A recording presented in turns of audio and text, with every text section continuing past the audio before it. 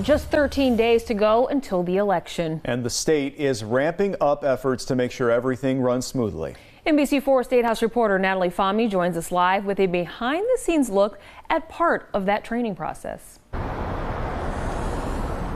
That's right. I sat in in a poll worker training class here in Franklin County where we went through this 240 page manual, which as you can see has everything from voter ID requirements to anything poll workers need to know about the voting kiosks themselves and so much more. Now, this class had a lot to take in and can feel overwhelming at times, but it's all to make sure that our elections run smoothly and securely. Let's flip on over, please, to page 30. I sat through a voter location manager and voter location deputy class. These are kind of the tip of the spear, the folks that are actually running the locations. The class for managers and deputies lasted three hours, and my instructor, Denise Smith, went through everything from standard information to new. It is a very long day.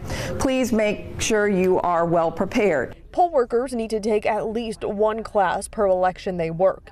Everything in the training manual is based on guidance from the Secretary of State's office that each county board should include in their training, like how to keep voting material secure. We will seal it with a snap seal, just like the snap seal that we used on our green voted bag and making sure no one underage or a non-citizen casts a ballot. They need to be trained on the most up-to-date rules and guidelines, uh, not only from the legislature, but directives from the Secretary of State's office.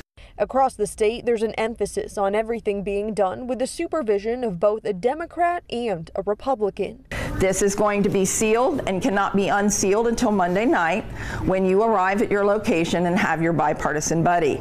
Aside from mandatory classes, poll workers can also attend practice sessions. On the Monday before the election, polls are closed so everyone can prepare until the last second.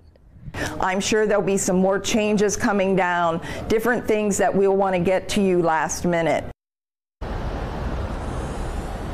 Overall, the state has 40,000 poll workers signed up across counties, but it's not too late to volunteer. If you're interested in becoming a poll worker, you can learn about a process and book a class. The information will be on this story on NBC4i.com. Local for you in Columbus, I'm Natalie Fahmy, NBC4.